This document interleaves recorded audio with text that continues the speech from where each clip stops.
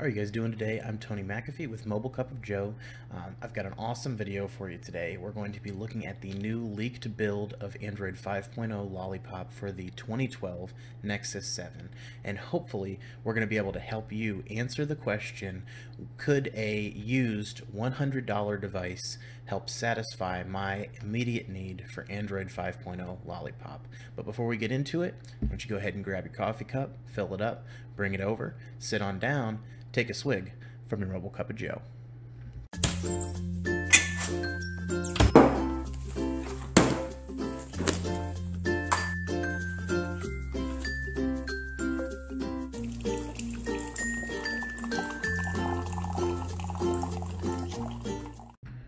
Let's go ahead and dive right in and first we'll go ahead and look at settings and show you that this is indeed running 5.0.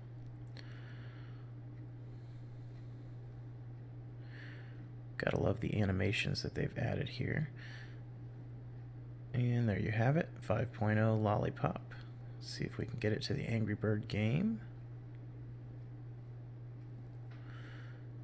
And there it is. Okay. I don't know if you guys have tried this game, but if you have, I'm pretty sure it's impossible. I haven't been able to get even one score on the scoreboard there.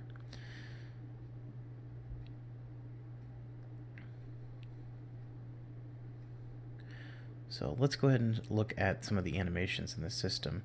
Um, when you slide these back and forth, you see that beautiful animation at the top there where it's showing the settings button and hiding the battery percentage. Really, really nice. In the lock screen, you've got what you basically what you've seen in any other build of uh, Android 5.0 for the lock screen. If I had notifications, they would show up there. Got the new Android 5.0, Google Now. Um, of course, I did have to install Google Launcher. This had the original Nexus 7 launcher on it in this build. And you can see that opening apps is still not as quick as what you might have expected from when you purchased the device, but it is better in general than uh, well, definitely better than the AOSP builds that I've used on the device. Um, the AOSP builds were not this snappy, they weren't this smooth when you're scrolling the web. Um, everything just seems to be a little bit more on par with what you might expect from Google. You do see some lag there when you open the um, recent apps. Uh, they call this the overview button. I didn't know that. I just thought it was called the multitasking button or the recent apps button, but apparently this is now overview. Um, it is pretty snappy, doesn't seem to lag too much when you select a new app to go into.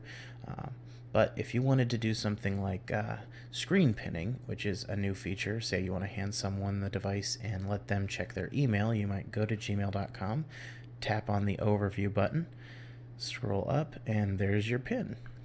This is, a, this is an option that you'll have to turn on, so I will show you how to turn that on. Um, there you have it, you're pinned, you can't go home. Um, you can, if you go back, it will just go back to the last website. You can't go to your overview.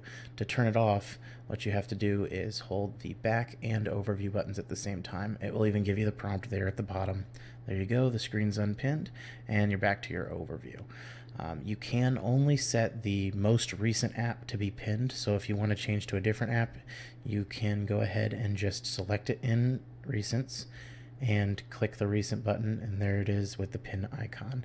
I don't know why they didn't give you the option to set any app, but they didn't.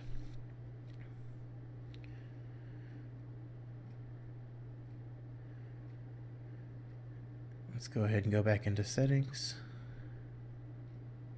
Oh, we do have it set in portrait mode. Uh, obviously, you have the portrait and auto rotation. It does seem like they've changed the way some of those buttons work. Um, auto rotation is a little bit laggy the first time you do it, and if you're in an app, it tends to lag. Sometimes I'll lose my background momentarily, um, but then once you've done it a few times, um, it'll catch up with itself. But again, that's just if you're turning it back and forth over and over. Um, in general, for first time turning, it's still gonna lag. Let's find where the screen pinning option is not in display.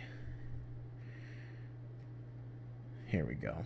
Um, so that is the option you'll want to turn on for screen pinning. Uh, it does not come turned on out of the box, so just go ahead and flip that on and you'll have the option to screen pin like I showed you a moment ago.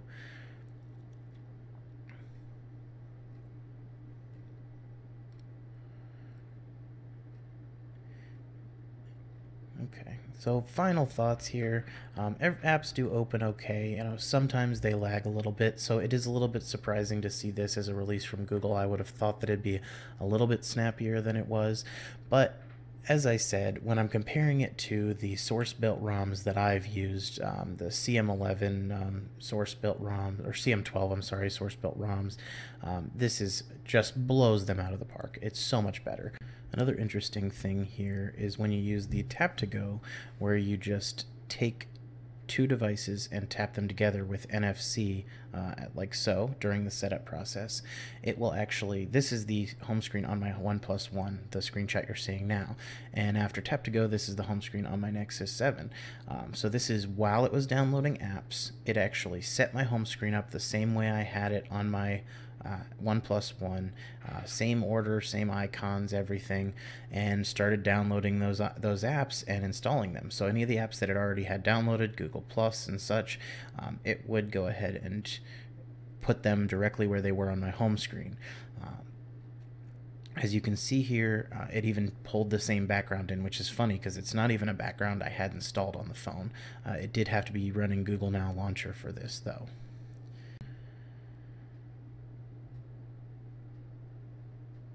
So in closing, you can see that this is a totally viable option for a 5.0 tablet. Mind you, it is not going to perform like any of the other 5.0 devices just because of the difference in specs. But when it comes to uh, the question, can I buy a $100 device and get Android 5.0 to tide me over until I can afford a new device? This may be an option for you. So I strongly encourage you to go ahead and check it out and maybe pick one up used. Thank you guys so much for watching my first look at Android 5.0 Lollipop on the 2012 Nexus 7. I am a firm believer that this is the build we will be seeing on the, the 2012 Nexus 7 when it when the OTA, OTA releases. Uh, I hope that we were able to help you guys answer any questions you had about it, and if we missed anything in the video, uh, do go ahead and let us know in the comments any questions you have, and I'll be happy to answer those throughout the week. Thanks for watching Mobile Cup of Joe.